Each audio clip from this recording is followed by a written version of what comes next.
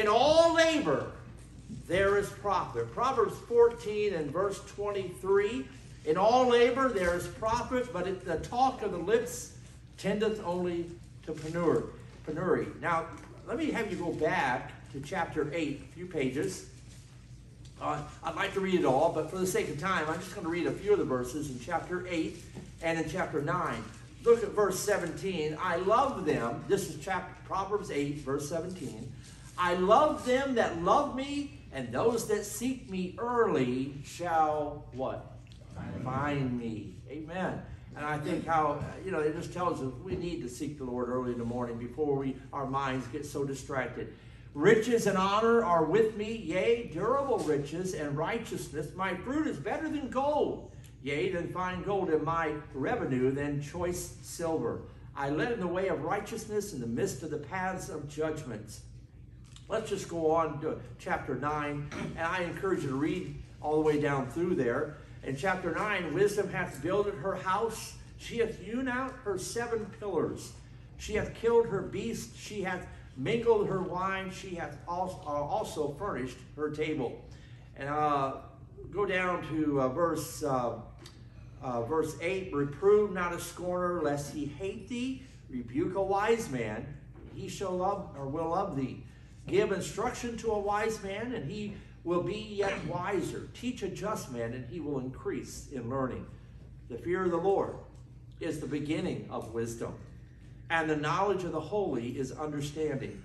For by me uh, thy days shall be multiplied, and the years of thy life shall be increased. I'll, I'll stop there again, read that chapter as well. Uh, just an example of some great proverbs. A human proverb is a short sentence based on long experiences. But in Proverbs here, we have short sentences based on something far better than long experiences. It's based on the inspiration of the Holy Spirit as given to Solomon. And so these are, as you read, and I know I appreciate Brother Morris in Sunday school encouraging all of us to read a proverb a, a day and be uh, challenged, be, Uh, uh, uh, or, you know, gain wisdom of God. And uh, because these little proverbs are short sentences based on the inspiration of the Holy Spirit as given to Solomon. Well, before we get into the message, let's have a word of prayer once again and just ask God to help us all. Father, we do pray for your help. Help me to preach this message with power, with clarity. I also pray for the listeners here today, uh, those sitting in the pew, those that may be listening or watching. Uh, we pray that, dear God, you'd fill them with thy spirit so they can hear, understand, and apply what you'd have them to apply to their life. For we ask this in Jesus' name. Amen. Now, today I have this message that I, pray that the Holy Spirit will burn this in your heart and mind. And, and I pray that you'll understand the message today that, um, and I promise you, if you understand what the Word of God is stating on this subject, it will literally transform your life. I've never preached a whole message on this subject. I've alluded to it, but I believe this is the first time uh, uh, I've done this, and it's, it's a, a foundational truth in the Bible.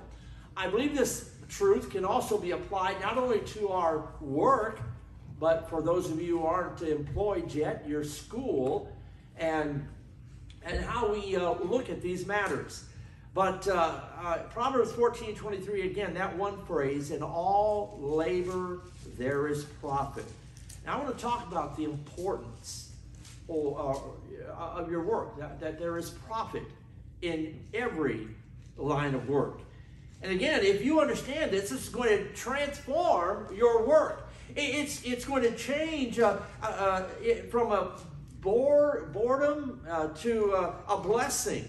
It's going to transform the way that you perform your duties at work and everywhere. It's not going to be a drudgery. It's, it's not going to be monotonous uh, if we understand this truth. And we're going to find that the same old grind uh, doesn't have to be that way in our, our thinking, our minds. Um, it, it, it can be glory if we understand what the Word of God states. You know, a lot of people that you talk to, I, um, at least I, I've known many people through the years that were just sick and tired of their job. They hated it They hated going to work every day and hated clocking in and the whole thing. And I, I, I think to them, in, in many cases, their job was meaningless. And uh, that they, they think that some people have happy jobs. Some people have fulfilling jobs. Some people have jobs that are thrilling, but not me, was the attitude of many. And they, as one put it, they draw their breath and they draw their salary.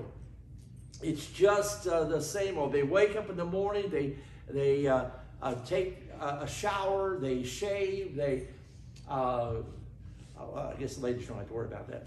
But they but they uh, eat their breakfast, they drink that hot cup of coffee, they're on their way to work, they're raced to work, they clock in, and it's the same old thing day after day. Then they come home at night after a long day of work, and uh, they may, uh, they're tired, they may uh, uh, watch some news or take in something just to kind of relax and have a conversation with the spouse, and then they're off to bed. And there's nothing more uh, it seems, to their life. The next day, the same old thing. Nothing exciting to them. It seems that there's nothing meaningful to what they're doing, nor thrilling. It just seems to be so humdrum and meaningless. I won't ask any of the kids that are here today, we have a few, how, in fact, you've told me, some of you, you think school is a waste of time. It's meaningless. Now, we all know that's not true. I will admit, in some, some things that they're teaching is, but we won't get into that this morning. But the, you know, a lot of people that may have this kind of thinking about their job, they love God and they say, I want to serve God. And they, they have the idea that the only time I can serve God is when I get off of work. And that the only time I can serve God is maybe on a Sunday or maybe uh, Wednesday night. And I just don't have any other time. And they want to, so they want to get off work, and they say, "I want, I want to get off work so I can serve God." So they, they, uh, but the problem is they give their prime time to their employer, and then they give the leftovers to God, and they give the weekends to God. They're serving God sort of half time. And, but it's not even really half time because they have given their prime time to that place of employment and uh, they're, they're trying to serve two masters. What did Jesus say about that in Matthew 6? No man can serve, no woman can serve two masters. Now, I believe there are some of you who are sitting here this morning, you're listening to me, and, and you're guilty of doing what I would call a split level living. And I pray that God will help me to get this truth into your heart and mind and it's this you may be an ordinary person. I, you know, I, I, we, we may be ordinary in the eyes of some. You may think there's nothing exciting about you at all. And but God loves ordinary people. He made a whole lot of ordinary people. And God loves them. And in fact, I would say most people are ordinary, consider themselves ordinary. So that means God loves ordinary people. And he, he must like them since he made so many of them. Ordinary people are the handiwork of God. Now look with me, keep your finger there in Proverbs. We may come back to that. But go to 1 Corinthians chapter 1 and look at verse 26. 1 Corinthians 1 and verse 26.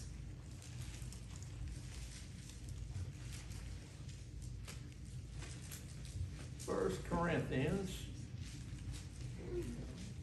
chapter 1. Look down with me at verse 26. And for ye see your calling, brethren, how that not many wise men after the flesh, not many mighty, not many noble are called. And, and here we, you see, God uses ordinary people. Uh, and, but here's the secret God takes ordinary people and gives them extraordinary power. This is the amazing thing. God infuses within every child of God his Holy Spirit, so we're no longer ordinary because we get saved, we become, or when we get saved, we become extraordinary. And uh, but now wait a minute, God takes ordinary people, gives them extraordinary power, and then God puts these those ordinary people in ordinary places of employment. Um, but you need to learn this. Listen, when God takes ordinary an ordinary person, when God gives them extraordinary power and puts that ordinary person in that ordinary place with those extraordinary powers, he does extraordinary things through that ordinary person. And God wants to do that not just on after you get off work, not just on the weekends, but God wants to do that from the time you clock in to the time you clock out, all of the time. God wants to use you. If, if you'll get this into your heart, it will transform your life. And we, we neatly divide life up into the secular and the sacred. And there are many who say something like this you know, if I could do what I would really like to do, it, it, well, I just, I like to get out of this job. Someone said, I'd like to get out of this job and then I could serve God. Can't do it when I'm working here. And I just like to, some say, maybe they say, I'd like to serve God full time. And they use that, that term. I don't know. Maybe you've thought that. Maybe that thought, that feeling has crossed your mind. And, and boy, if I could just quit what I'm doing, and, and then I would be able to do uh, what God wants me to do. Maybe, you know, may God help me today to bring this truth to your mind and your heart and, uh, and help you understand as a Christian living in the Spirit of God and that you are serving God full time. I don't care what your job is, uh, as long as it's legal. You're not you're not uh, serving drugs or alcohol. You know, I think it's it's a place that you can honor God and serve Him full time. I don't care where you work. It's if it's an honorable occupation. You're serving God full time. Your work is to be the temple of your devotion. It's to be the, the platform of your witness that God how God wants to use you. It, again, we're guilty of dividing life up into secular and spiritual and and or sacred but not the bible the bible doesn't do that in the old testament they did but not in the new testament you see in the old testament they had priests and then they had the rest of the people uh, but in the New Testament, and Brother Morris brought this out too, we're, as a Christian, we're all priests. You don't have to come to this preacher to get to God. You can do it directly. And in the Old Testament, there was a temple that people went to. And listen to what Jesus said in John chapter 4, verse 21. It's neither in this place nor in that place, but everywhere. We worship God in spirit and in truth. In the Old Testament, they divided foods as clean and unclean. But in the New Testament, Mark 7 19, thus he spake, making all meats clean. Amen. I like that. In the Old Testament, certain days were set aside, but in the New Testament, every day is a holy day. And every place is a sacred place. Every job has dignity if it is honorable work. So every Christian is a priest, and every Christian is a minister, and every Christian is a full in full time Christian service, regardless of your employment. If it's honorable work, it's um, you can be in full time and should be in full time Christian service. Now you may not believe that at this point, but I hope you will after we get done here with this message. In all labor, there is profit. In all labor, there is profit. Now, you may not uh, be in a, a, a, real exciting job. I mean, your job may be uh, maybe screwing caps on toothpaste tubes. You know, maybe uh, uh, doing nothing more than tightening bolts or whatever it may be. I've worked jobs like that, assembly line jobs, and it can be boring at times. That is true. But we need to have a different mindset. Um, maybe maybe that's what you do something like that all day long. Maybe you work in an office and you feel like uh, oh it gets so boring, or you may be mowing yards, um, digging ditches, building houses, maybe doing a whole variety of things, plowing fields, uh, bringing in the harvest. But if you learn what the Word of God says, I really believe it's going to change that boredom into something entirely different. That, that uh, uh, uh, drudgery into something more delightful. You're going to find that you are, you are where God has placed you. You, you, you, you can be used of God in that place. And you're uh, there for a specific purpose. So, Roman number one, your work is sacred. Your work is sacred. I'm not talking to the preacher, to the missionary. I'm talking to all of you who have a job. Your work is sacred. And what is the sacredness of everyday work? Well, don't, don't get the idea that to serve God, you have to be a preacher. To serve God, you have to be a missionary, or you have to be in some kind of a Christian organization to serve God. I think sometimes we give that false impression. Every job, if it's done to the power of the Holy Spirit, is a sacred job. Now, I'm talking talking now about the sacredness of everyday work in all labor. Proverbs tells us in all labor there is profit. Ephesians 6 5, servants, be obedient to them that are your masters according to the flesh. Employees, be obedient to your boss. Now, that's what he says, even though this uh, guy, this boss of mine, he's a jerk. That's right. Be obedient. He's not even a Christian. Well, he is your master according to the flesh, not according to the spirit. With fear and trembling, it says, in singleness of your heart as unto Christ. Now, wait a minute, preacher. You mean that boss of mine, I am to work for him as though he were Jesus Christ? That's right. This that that two-legged devil that I work for? Well, according to the Bible, that's right. You are to work for him or for her as, as though they were Jesus Christ. Because God owns that company. Really, God owns everything. And and uh, uh, they may think they are in charge, but ultimately God's in charge. This this is my Father's world. This is your Father's world. And, and so you are to serve Jesus Christ. A man named Daniel, we've been studying about Daniel, but uh, Daniel is going to be our chief illustration in this message here this morning. Proverbs 14 23 again, in all labor there is, there is profit. Daniel was taken captive, wasn't he? If those of you who know the story, taken captive from Israel, carried to Babylon by Nebuchadnezzar. And there in Babylon, you know what kind of job he had? He had what we would classify as a secular job. Daniel's job was that he was in all, basically he was a governmental, uh, governmental bureaucrat. They uh, trained him, they pressed him into the service of the government. And as a government bureaucrat, he really, even though he was a, a government person, he was a servant of the Lord Jesus Christ. And uh, don't get the idea that Daniel was, uh, I, I, know we, we know he's a prophet, but at his job there in Babylon, he wasn't a priest, he wasn't a pastor. Uh, Daniel was what we would, I, I guess you could say, Daniel was a businessman. Daniel was a businessman in ordinary work. But notice what the king said.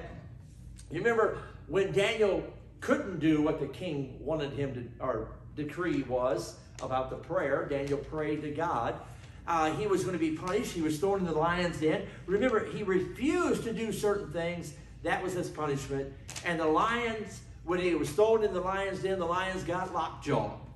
Daniel just relaxed. He pulled up an old fluffy lion and used it as a pillow.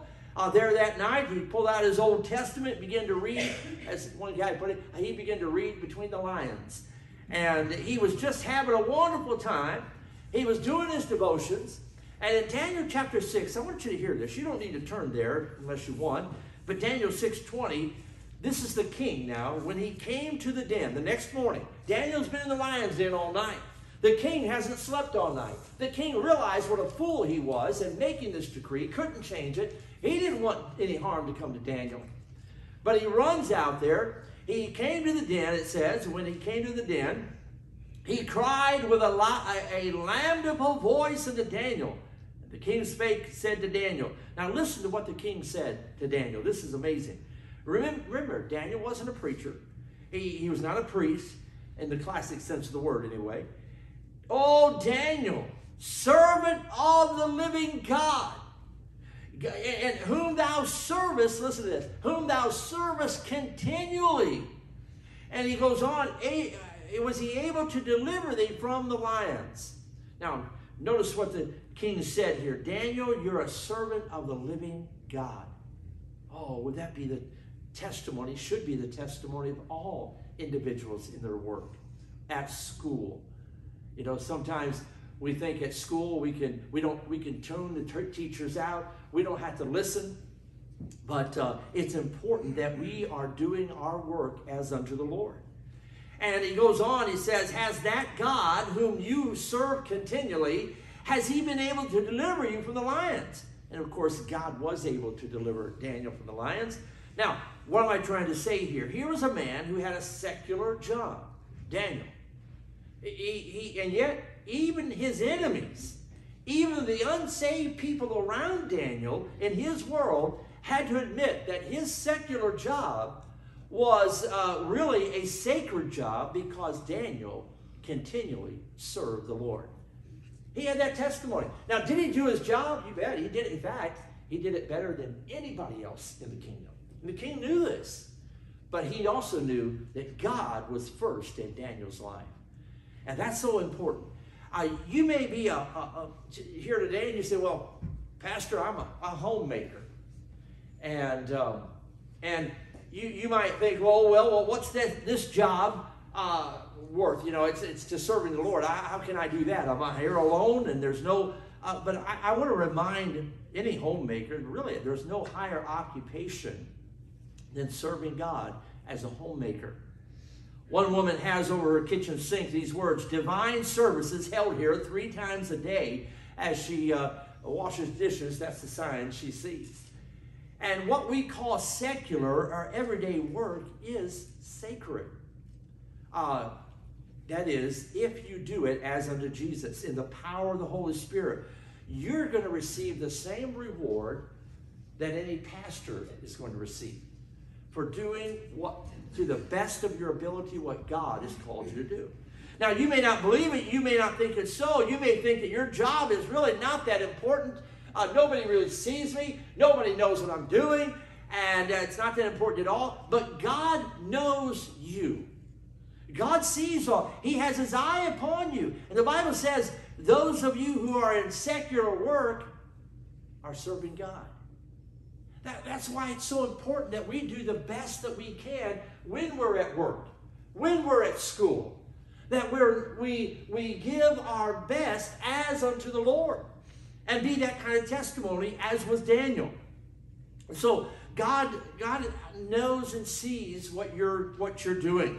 Every Christian, therefore, is in full-time Christian work. Working as unto Christ. And I, I hope you'll never forget that. Your work is sacred. The second thing I want you to say, and I'll close on this point here, only, only a couple more hours. Uh, number two, your work is planned. Your work is planned. Nothing by accident. You say, well, I, I, I sure would like to be in a Christian company around all those other Christians, around people who are always smiling, around people who are always praying, around people who are always praising God. Boy, that would be great. If that was the case, Pastor, boy, then I would be able to really serve the Lord Jesus Christ.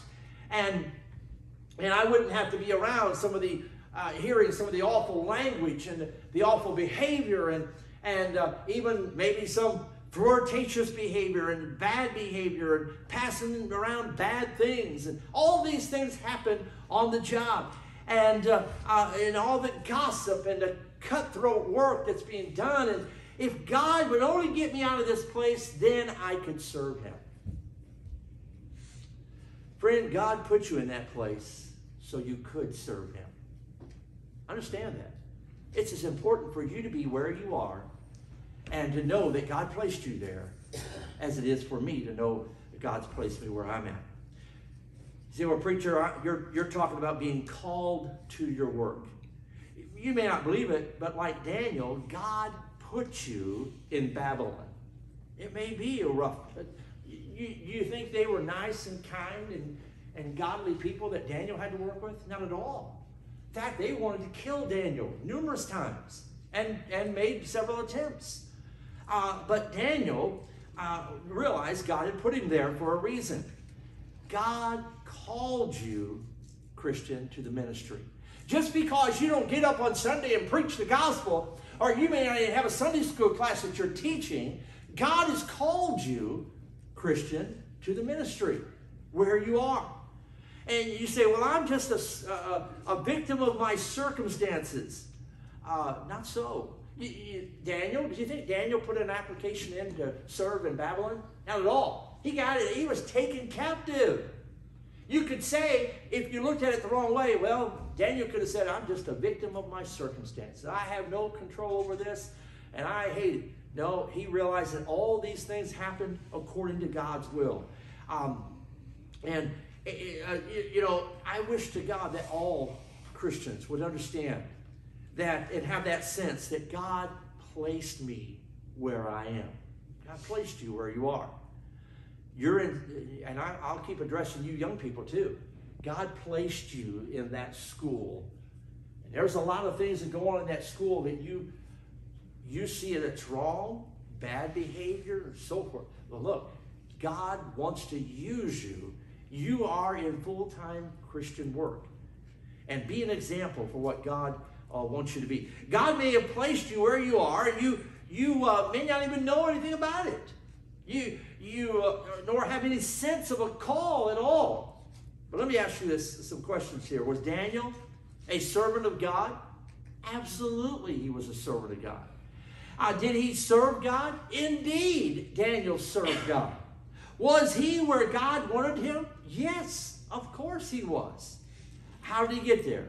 Again, by circumstances beyond his control. Uh, at least what he thought was beyond his control. Now, that may be how you feel. I didn't plan for this work.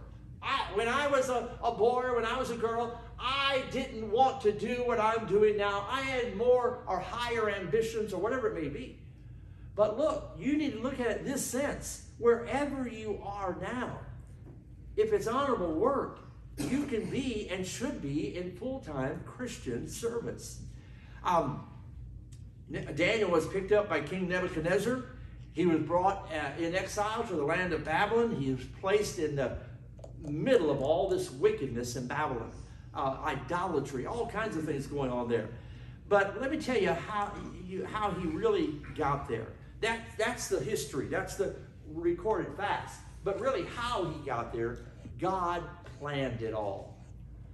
In fact, Nebuchadnezzar, as we saw on Wednesday nights, he's called a servant of the Lord. God called him that. And a wicked pagan king. But God planned all of this to have Babylon, his, or have Daniel in Babylon with, along with his three friends. And we are, are called as Christians to confront this world. Uh, what are we to confront them with? The gospel of the Lord Jesus Christ. Folks, that's what we're to be doing everywhere we are. Boy, it just thrilled my heart when I heard about those Af- Afghani people Amen. who are uh, under death sentences. And yet they said, We are going to preach the gospel. Amen. You're not under a death sentence. I, I, look, whatever your job is, wherever you're at, God wants to use you. He put you there for a reason. And so, uh, you know, we are called to uh, preach, the, to proclaim the gospel. And the best way to do that is to realize that every day we are to be a witness for the Lord. How am I going to work? How, what am I going to say? How am I going to respond? Those, those things ought to be in your mind. How will it best be a testimony unto the Lord? And you're a witness for the Lord Jesus Christ. It's working side by side, day by day, with those. This what we're talking about is lifestyle evangelism. Now, I know that term has been abused. I do believe in confrontational confrontational witness, but I'm talking about people you work with every day. You see them every day. Okay, you, are not going to go to them and you deal with them a little differently. What I mean by that, they're watching you. They're going to uh, see if your words match up with your life. They're going to watch you in, in times of pressure and when the trouble's on. Okay, now we'll see how real his Christian or her Christianity is. Uh, they're watching you. And so it's uh, let your light shine in that maybe that dark place where God has placed you. Matthew 5 14. Ye, Christians, ye are the light of the world. You're the light of the world. A city that is set on a hill cannot be hid, neither do men light a candle and put it under a bushel, but on a candlestick, and it giveth light unto all that are in the house. Listen, uh, you could call this the four walls of this church, the, the bushel. We're not to be just stay within here. The only place that we're going to be able to be a Christian is here within the church walls. No, God's intention for us to sh- is to shine out there in the world where people can see us, is to be a witness for the Lord Jesus Christ. And you, all of us, ought to do that on the job. Now, I want to tell you that your job is the lampstand that, that God placed you there to let your light shine. That's the place He's put you. And let your light shine for the Lord Jesus Christ. So that's God's plan for your ministry. And folks, it's a full-time ministry wherever you are. You're in full-time ministry. Don't uh, please understand that. So many times they say, "Oh, God, I want to get out of this place, out of this Babylon. I want out." And Lord, I just want to do something for you. I want to get uh, you know, get away from this worldly influence. Well, if you did that, all those people would not be influenced for Jesus Christ. Now, it's sad, it is true, that too many times Christians are influenced by the world. I'm not telling you that what you ought to do is just go along with everybody at work. And no, you and I, we are to be distinctively Christian, a witness, an ambassador, even on our work, our, our job. In fact, I don't think there's a better place to do that. We are not to be a gossiper. We're not to be a backstabber. We're not to be, we are not to be a person of no character. We are to, uh, we ought to be on time. We ought to be dependable, loyal, and know those things. You know, I, have seen men who are more concerned about their um, about their work than they are about their families. That ought not be. But we ought to understand if I lose this job over taking a stand for what's right, well, that's just God opening another door for me. This job is not my God. My paycheck is not my God. God can take care of me. I am not going to compromise, even if it means my life, as those Afghani Christians are stating. They can kill me, but we're not going to deny Jesus Christ. We will not do so.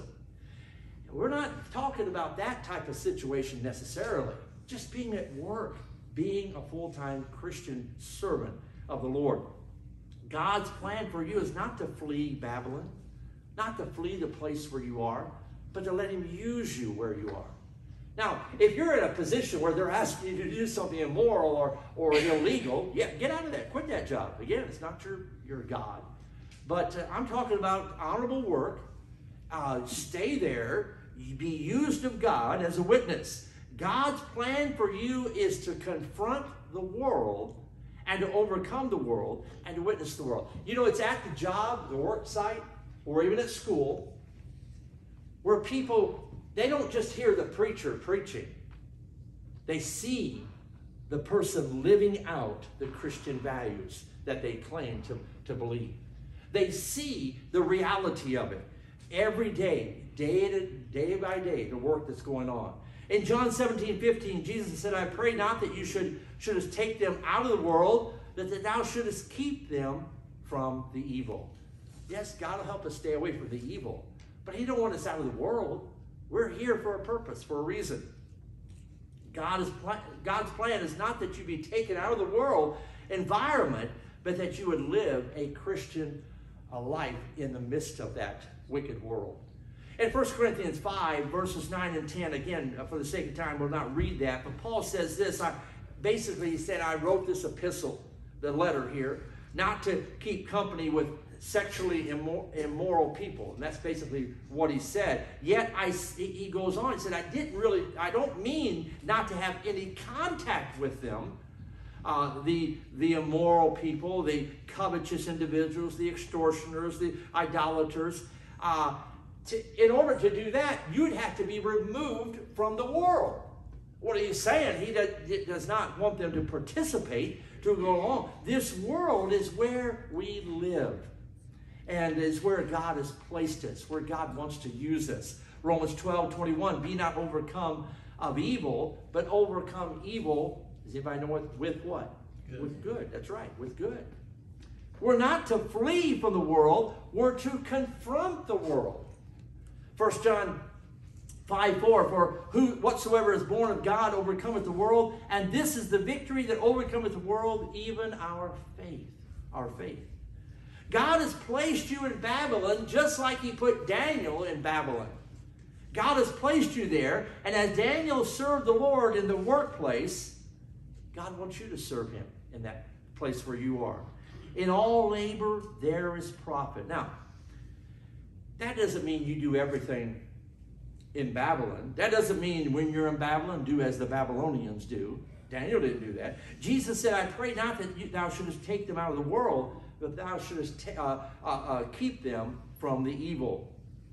There were certain things in Babylon that Daniel said, no, can't do that. His three friends said, no, we're not going to do that. Uh, from the very first day that happened. And he, he uh, got thrown in the lion's den. He suffered some persecution. Uh, there are some things that you will not be able to do. That's fine.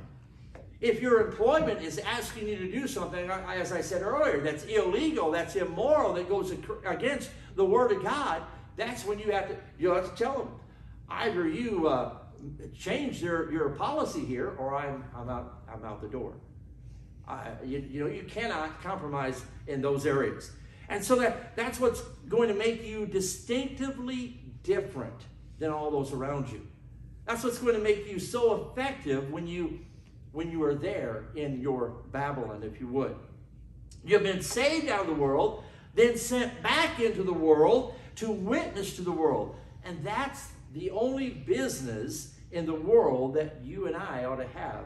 Uh, uh, you, you, know, we're, we're, we're uh, taken until we're taken out of this world, we're to be here in this world as a witness for the Lord Jesus Christ. Philippians 2:15, that you may be blameless and harmless. That's not when we're taken out of the world, but that's while we're still in the world, in that Babylon.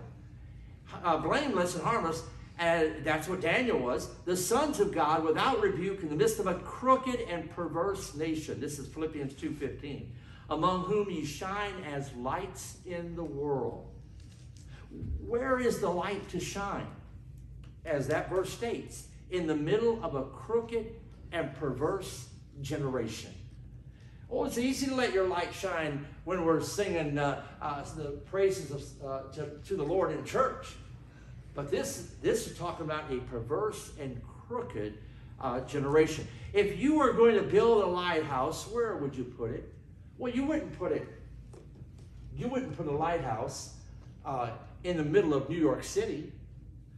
You wouldn't even put a lighthouse necessarily out here because there is no, as we can clearly see, there's no ocean, no water. We would put a lighthouse on those jagged rock shores where that ship could see it uh, and, and be saved from uh, uh, shipwrecking. So that's, uh, that, that's where we would build a lighthouse to be the most effective.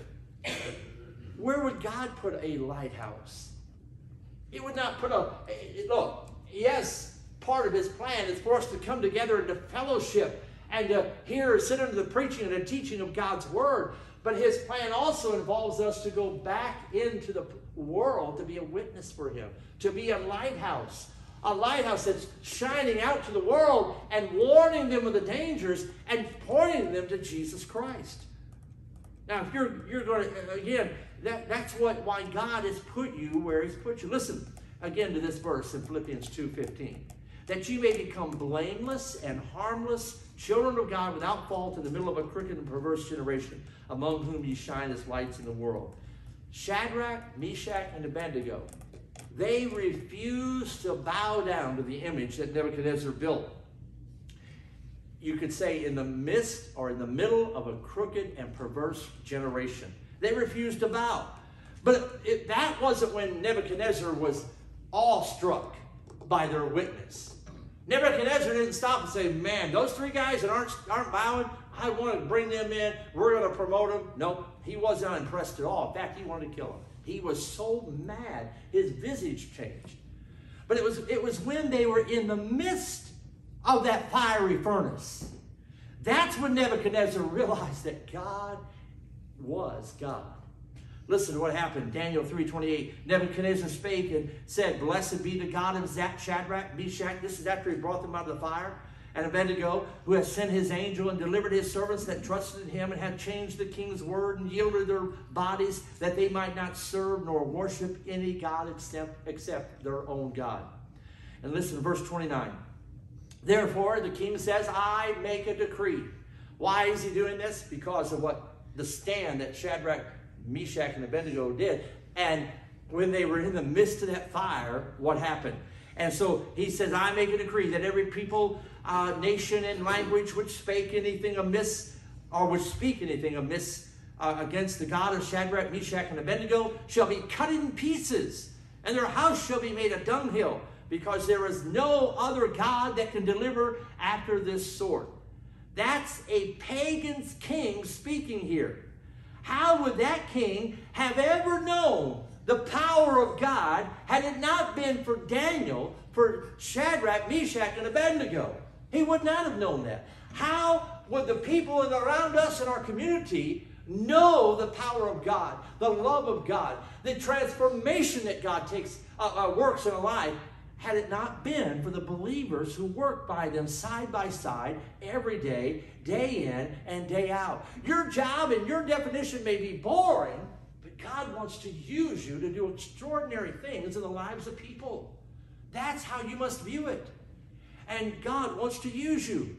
Mark chapter 16, 15, it says, listen, um, in the midst of that crooked and perverse generation, Jesus Christ wants us to go into all the world and do what?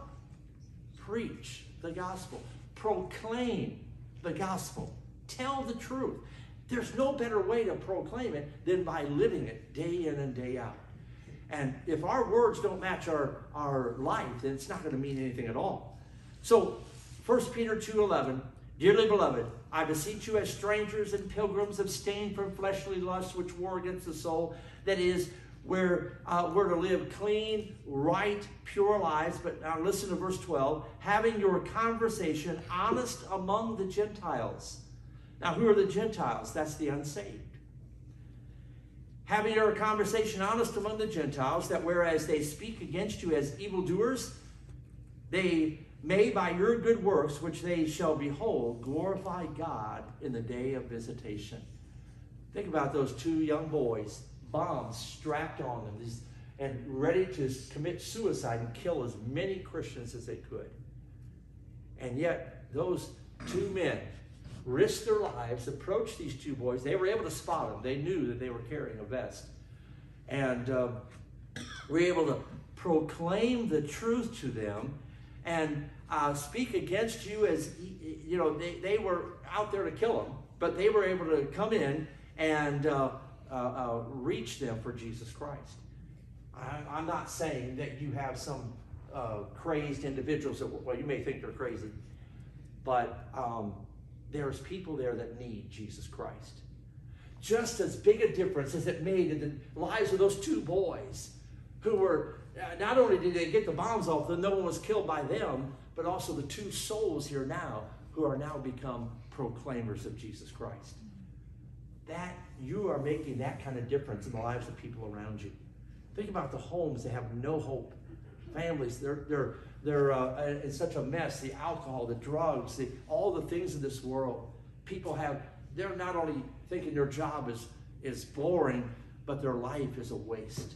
And they may be at the point of committing suicide were it not for a believer who stood by them, worked by them, testified to them. Oh, how important it is. You are to let your light shine. If people would begin to take to heart what I'm talking about this morning, and we begin to live it out on Monday through Saturday uh, on their place of at their place of work, I'll guarantee you that God would receive glory, that people, the lost, would be saved. Uh, And, and they would believe. Look, it doesn't mean as much, the preacher up here preaching, as, as much as it does when the people see you living it. It's real. It changed that, that individual. So when you start living out the truth of the Word of God on Monday through Friday, people are more prone to believe what happens on Sunday.